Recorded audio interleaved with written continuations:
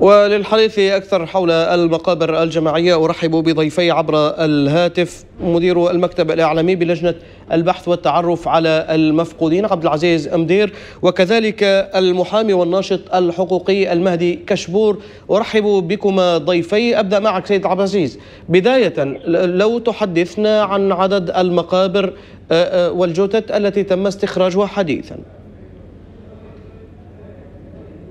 الاسم عبد العزيز الجعفري والهيئة العامة للبحث والتعرف على المفقودين مدير الهيئة العامة للبحث والتعرف على المفقودين. نعم نعم شكرا لك على هذا التصحيح نعم. آه كنت قد سألتك قبل قليل سيد عبد العزيز يعني لو تحدثنا عن عدد المقابر والجثث التي تم استخراجها حديثا. عدد المقابر التي تم الكشف عليها اليوم آه عدد خمسة مقابر جديدة وتم العمل على المقابر آه، وتم انتشار من الموقع رقم واحد عدد آه، من جميع المواقع الخمس مواقع اللي هم المقابر الجماعية في مشروع الربط عدد 12 وفاه كاملة. نعم. ابقى معي سيد عبد العزيز أنت أرحب بك سيد مهدي بداية يعني مع كل يوم تم اكتشاف فيه مقابر جماعية وأرقام الجثث التي تم اكتشافها في أربعة أشهر فقط تجاوزت 100 جثة حتى الآن. أين دور وزارة العدل في التوثيق وإعداد ملف يقدم للمحاكمة الدولية؟ نعم أهلا وسهلا بك وبضيوفك الكرام والسادة المشاهدين. أه الحقيقة سيدي الكريم إذا أه نتحدث من ناحية قانونية من حيث الاختصاص فوزارة العدل هي غير مختصة. بهذا الملف من ناحية التوثيق ولكنها قامت بجهد مشكوره عليه آه، يعني أشبه بالتطوع وزارة العدل هي مهمتها الإشراف على المؤسسات القضائية والعدلية ولكن هذا آه، مهمة توثيق الجرائم والتحقيق فيها وتقديم القضاء هي مهمة مكتب النائب العام بدرجة أولى ومكتب المدعي العام العسكري بدرجة ثانية. هذا من ناحية. ومن ناحية أخرى هناك مؤسسات رسمية آه، تعنى بملف حقوق الإنسان مثل المجلس الوطني للحريات العامة حقوق الإنسان وهذه هي الجهات التي تختص بشكل قانوني بتوثيق هذه الانتهاكات.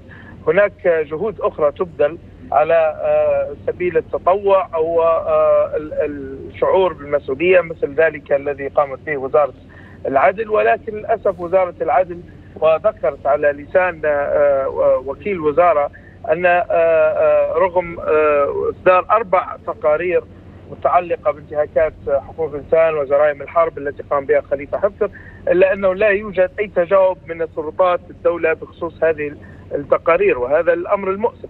أيضا مؤسسات المجتمع المدني التي تقوم بمثل هذا الدور والمنظمات المحليه والإقليمية والدولية التي توثق هذه الجرائم وتقدم تقارير بشانها لا يوجد للأسف بناء على هذه التقارير. آه، آه، الحكومة إذا ما أرادت آه، يعني التحريك في هذا الملف فوزارة الداخل وزارة الدفاع هي مختصة بدرجة أولى بشكل أن لأن هذه جرائم قامت أثناء عمليات حربية. أيضا المدعي العام العسكري هو يتبع بشكل مباشر وزارة الدفاع أو وزير الدفاع بشكل مباشر. نعم. والى اليوم لم تقدم هذه المذكرات أو التقارير للمحاكمة. لم تصدر مذكرات اتهام.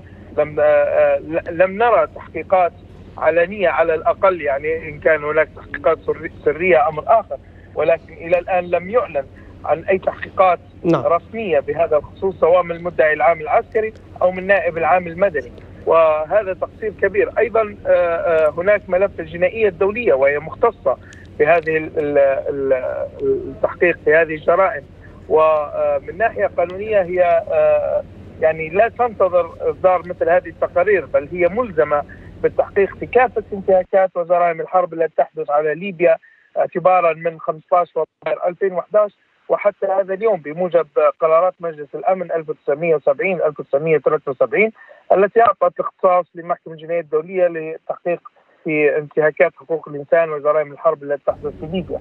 ولكن للأسف المحكمة آه، آه، لا تباشر دور آه، يعني يذكر في هذا الملف. نعم نعم. ابقى معي المحكمة في كثير من الأحيان. نعم. نعم. يعني أليس نعم. من المفترض أن تقوم وزارة الخارجية بدورها في عرض هذه المقابر؟ واستدعاء الحقوقيين والمنظمات المعروفة لليبيا لتغطية وتوثيق ما يحدث الآن. آه، نعم للأسف يعني هذا دور من أدوار وزارة الخارجية والتعريف بما آه، آه، يجري على الأرض. أيضا كشف الجرائم التي يقوم بها خليفة حفتر وهو وهذا محور آخر من محاور الدفاع عن مدنية الدولة كشف من يرتكب هذه الجرائم. لا يقتصر الأمر على آه، بعض مهربي البشر لايطاليا بل على العكس يجب أن آه، آه، يبدأ الدور بمن يرتكب جرائم الدم في ليبيا. وهؤلاء أولى بالملاحقة والمحاكمه ولكن للأسف لا يوجد أي دور سواء إعلامي من من قبل هيئة الإعلام أو من قبل وزارة الخارجية تعريف في أمام المجتمع الدولي أو حتى للأسف يعني حتى هذه المؤسسات أو الجهات الرسميه لا تقدم حتى دعم للمؤسسات المدنية التي آه، يعني تتطوع لتوثيق هذه الجرائم والانتهاكات يعني المؤسسات المدنية تحتاج إلى دعم وفي العالم أجمع يعني المؤسسات المدنية تدعم من قبل الحكومات خاصة عندما تكون مثل هذه الملفات معروضة أمامها لتستطيع على الأقل تغطية العجز لدى الحكومة. ولكن آه، للأسف لا يوجد أي دور لا من وزارة الخارجية ولا من وزارة الدفاع ولا من آه، مكتب النائب العام. يعني لا لا توجد على الأقل شيء ظاهر نراه يعني نحن كمواطنين أو متابعين آه، إن كان هناك شيء سري. ولا, ولا أتوقع أن يكون مثل هذه الملفات بهذه السرية العميقة، هذه الملفات يجب أن تعرض للعامة وتعرض حتى للمجتمع الدولي، ليس هؤلاء القتلى ليسوا مجرد أرقام، هؤلاء أسر وضحايا، هؤلاء يجب آه، أن يتم آه، آه، منحهم العدالة من خلال الاقتصاص من جناء وليس الإفراج عنهم في صفقات لتبادل الاسرى يعني مع مع مجرم بدون وجود حتى يعني أو ضغوطات للكشف عن عن المقابر الجماعية وعن مصير المفقودين وعن المعتقلين كذلك. يعني هناك العديد من الأسماء يعني الألاف إذا نتحدث منذ 2011 إلى اليوم اختفت هذه الأسماء ولا توجد لها أي بيانات. الجهات كثير من الجهات التي قامت بارتكاب مثل هذه الجرائم وعلى رأسها قيادة عملية الكرامة هي معلومة ويجب أن يتم الضغط عليها لكشف مصير المفقودين سواء كانوا معتقلين أو كانوا قتلى في مقابر جماعية، أيضا كشف آه، عن عن آه، آه، هذه المقابر أماكن هذه المقابر، يعني اليوم هذه الجثث التي تكتشف للأسف تكتشف يعني عن طريق تبليغ المواطنين ولكن الجهة المرتكبة للجرائم هي لازالت تتكتم على العديد من أماكن وجود هذه نعم. المقابر نعم. رغم آه، وجود الجريمة سيد يعني جريمه مرتكبه وموثقة ويجب ملاحقة هؤلاء المجرمين وعلى نعم. رأسهم من ناحيه من قياده نعم. عمليه الكرامة نعم بالحديث عن الملاحقة نسمع مؤخرا آه، بعض الأحاديث عن المصالحة والعفو عن المطلوبين وما إلى ذلك هل يمكن نعم. أن يصل الحال إلى العفو عن من ارتكب هذه الجرائم أم أن هذه الجرائم غير قابلة للعفو